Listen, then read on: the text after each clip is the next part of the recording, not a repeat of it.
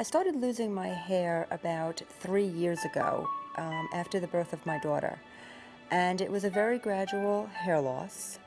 However, at one point, I just started to have too many bald spots on the top of my head and around my scalp, uh, the back of my head.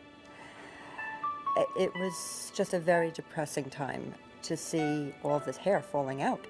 The interlinking process is actually a very easy process. Um, you go into the salon and they interlink four hairs to your hair and you're done and you leave and you've got hair.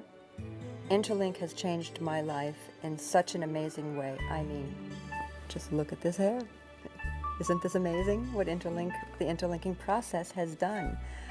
I have all the hair I had when I was a young child and it's my hair.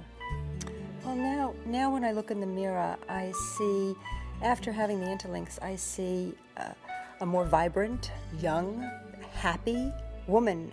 And the depression that I had from losing my hair has been lifted.